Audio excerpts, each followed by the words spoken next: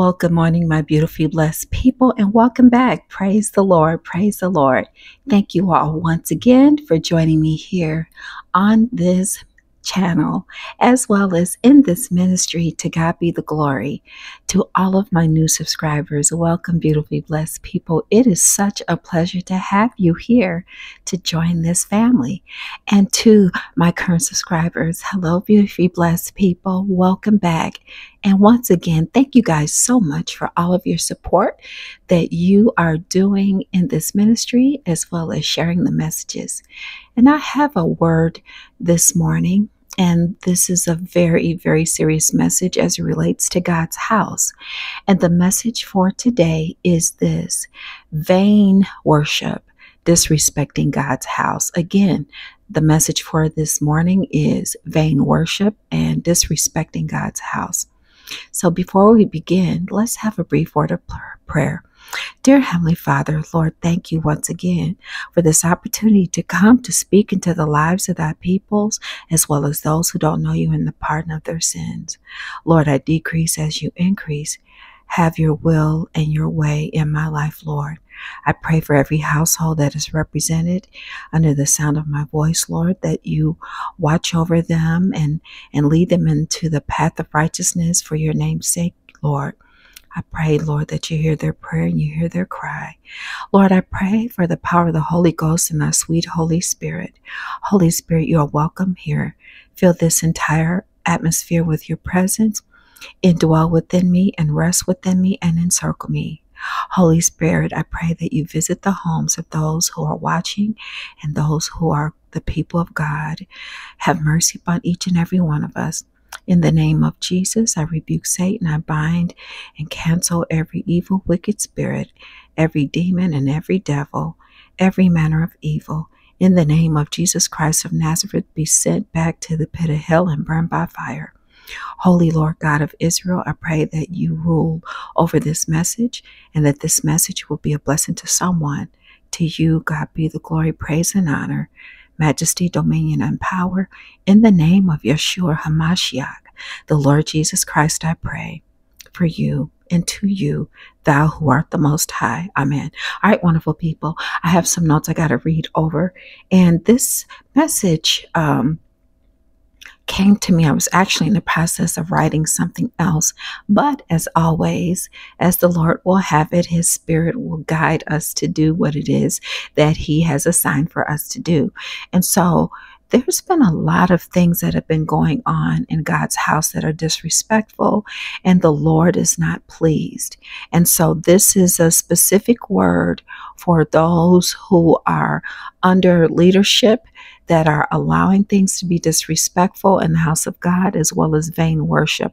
And this message is also for those who are participating in these forms of worship, for they are not pleasing in the eyes of God. Okay. All right. So, to worship the Lord is to present our bodies as a living sacrifice, holy and acceptable to God. Romans chapter 1, verse 12 says, I beseech you, therefore, brethren, by the mercies of God, that ye present your bodies a living sacrifice, holy and holy and acceptable unto God, which is your reasonable service. This was spoken by the apostle Paul. To worship the Lord is to sacrifice our bodies, give praise, honor, and thanks unto the Lord. We make ourselves lowly to God. God is to be glorified, so to God be the glory. Hallelujah. Beloved, we see that there is a lot of worldliness and vain worship and dis- disrespectfulness in God's house. Romans chapter 12, verse 2 says, And be not conformed to the world, but be ye transformed by the renewing of your mind, that ye may prove what is good and acceptable and perfect will of God. There are those who are in leadership who allow vain worship and God's house to be disrespected. And a lot of them participate in these acts themselves. First Peter chapter 1 verse 14 says, As obedient children, not fashioning yourselves according to the former lust in your ignorance. All of the theatrics, the special effects, and appropriate attire uh, to name a few, is disrespectful to God and also disrespectful to God's house. I'm going to take some water here, guys.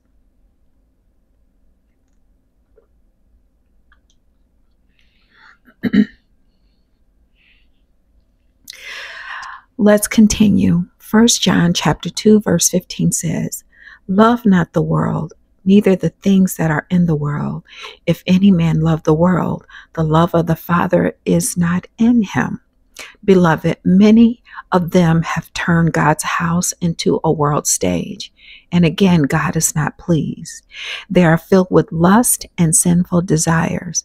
They speak heresies, fables, and deception, denying the truth and not teaching the gospel of Jesus Christ. They are man- manipulating hearts and minds, presenting themselves as the center of attraction, causing distractions, calling their stories sermons, misleading the flock, and God is not pleased. They say that this is a new way of them bringing followers to Christ, knowing that this is a lie from the pit of hell, and knowing they are driven by their flesh, their greed, and filthy lucre. The Lord never said that the way to the Father was through music nor through singing. Jesus said in John chapter 14, verse 6, John 14, verse 6, I am the way and the truth and the life. No man comes to the Father but by me. This is what Jesus said. So for them to be using platforms, vain worship, and using worldliness to bring people to Christ, that's not the way. The way to the Father is through Jesus. That's the only way. All right. First Peter chapter 4 verse 2 says that he no longer should live the rest of his life in the flesh of the lust of men, but to the will of God. Brothers and sisters, they have conformed to the world, and the Holy Spirit is not with them, nor is the Holy Spirit in them. When we worship God, we are to give ourselves to God. We come into fellowship with God. This is showing God that He reigns in our lives. Nothing else reigns in our lives. We are to use our bodies, use our worship to show God that He is the only one who reigns in our lives.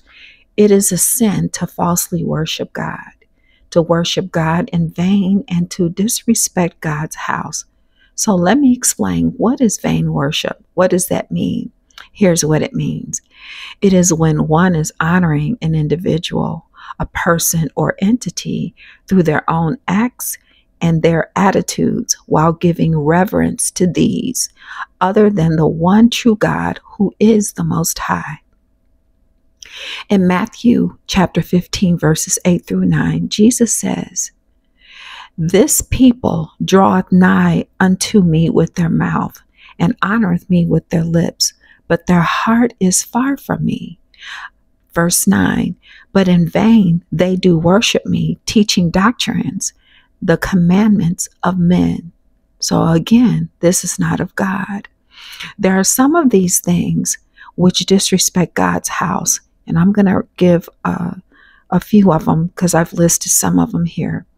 Allowing children to play on the altar, running in the sanctuary, and mocking others adults and children walking behind the altar and chancel, people standing at the pulpit, which is very, very sacred, airing their dirty laundry, announcing and speaking things they ought not speak, using the pulpit and the sanctuary for things and subjects that have nothing to do with teaching the gospel of Jesus Christ.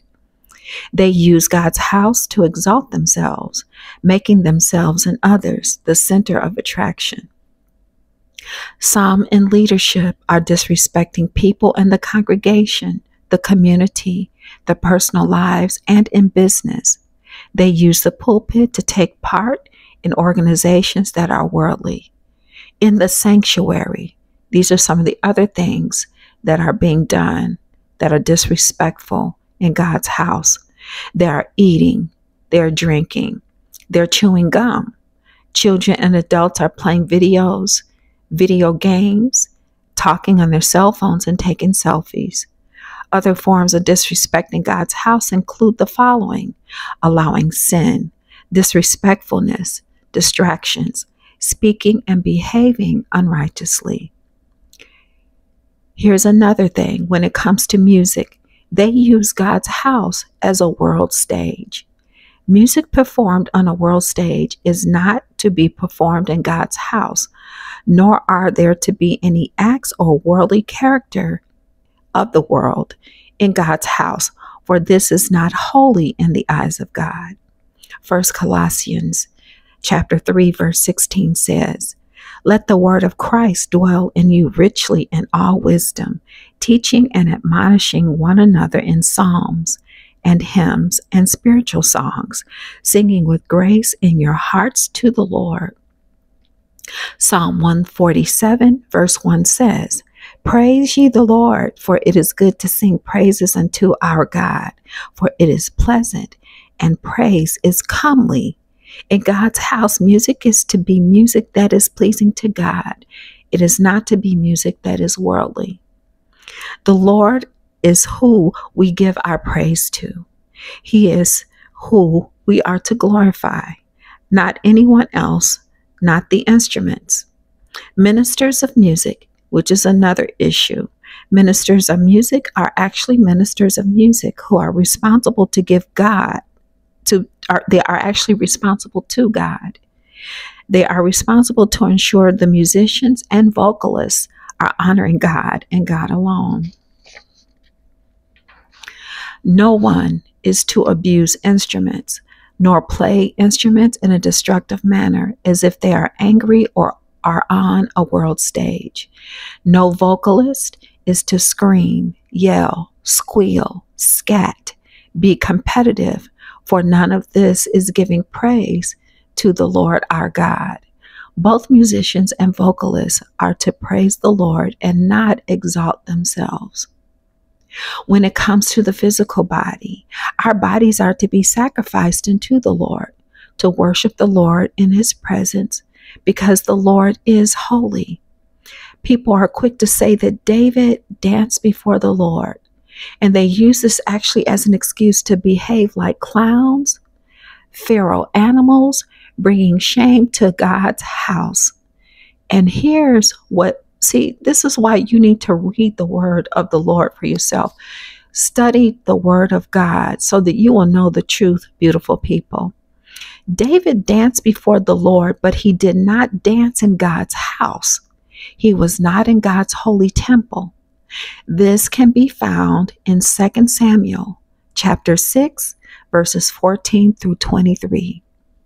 God's house is never to be disrespected.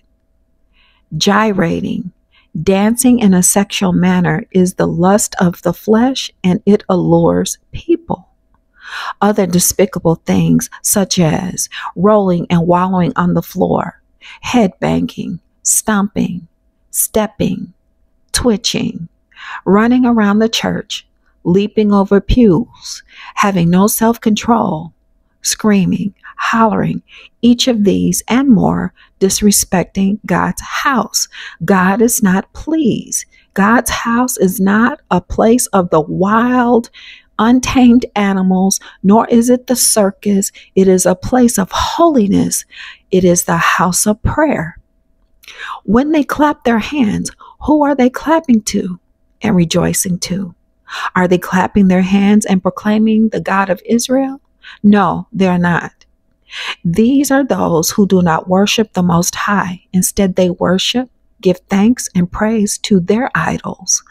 There is no decorum Leaders are not to allow this, nor are they to participate. Yet some of them actually do.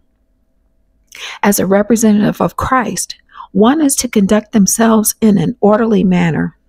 Excuse me. 1 Corinthians chapter 14 verse 40 it says, "Let all things be done decently and in order." They are out of order in God's house. Somebody has to establish order in God's house. And in a lot of these houses, God's houses, it is not being established, established, and God is getting ready to deal with that. Psalm 47, verse 1 says, Oh, clap your hands, all ye people. Shout unto God with the voice of triumph. And only to God, not to the vocalists, not to the musicians, nor to the instruments, but only to God are we to shout with the voice of triumph. Christians are to make sure their selection of music is in alignment with God and that it does not lead them to sin.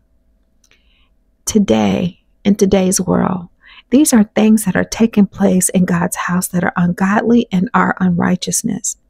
Also, there are leaders behaving in this manner. God, again, is not pleased. What did Jesus do when they were disrespectful and doing evil in the house of the Lord? Jesus tore up the temple because of the evil in God's house. Matthew chapter 21, verses 12 through 13 says, And Jesus went into the temple of God and cast out all of them that sold and bought in the temple, and overthrew the tables of the money changers and the seats of them that sold doves. Now, let me give you a notation here. You are to stop selling and buying doves. Again, Jesus went into the temple and he overthrew the tables of the money changers and the seats of them that sold doves. That's in verse 12 of chapter 21 of Matthew. Verse 13, it says, and Jesus said, He said unto them, It is written, My house shall be the house of prayer, but ye have made it a den of thieves.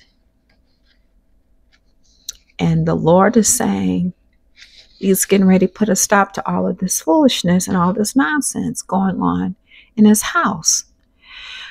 Be it in selling, buying oil and water, having people give money in denominations, standing in line, lying to people, telling them God will bless them for giving money, knowing this is filthy lucre, and teaching wrongly for the sake of money. This is evil in the eyes of God and it is greed. God is going to bring judgment upon those leaders who do this and allow this, and upon those who participated in it. What is the spirit behind the oil and the water that they claim to be holy? Because it is definitely not holy and is definitely not of God. No matter how they twist the lies to be convincing, this selling of oils and selling of water, claiming to be holy, selling, yeah, it's not of God. You may have, and not even know it, you may have opened yourself up to a curse and opened yourself up to a spell. God's anointing is not for sale, neither can money influence it. This is found in Acts chapter 18, verses, I'm sorry, Acts chapter 8. That's Acts chapter 8, verses 18 through 24. I'm actually going to read from the Bible. This has to do with God's anointing not for sale. And when Simon saw that throwing, I'm sorry, when and when Simon saw that laying through laying on the get my eyes focus here. Okay, let's start again. Once again, this is found in Acts chapter 8, verses 18 through 24. And when Simon saw that through laying on the apostles' hands the Holy Ghost was given, he offered them money, saying, Give me also this power that on whomsoever I lay hands, he may receive the Holy Ghost. And Peter said unto him, Thy money perish with thee, because thou hast thought that the gift of God may be purchased with money.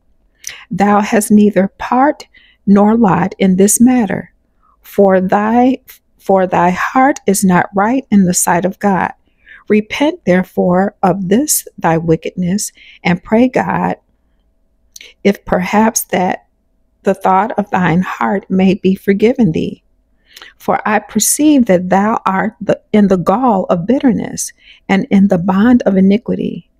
Then answered Simon and said, Pray ye to the Lord for me, that none of these things which ye have spoken come upon me.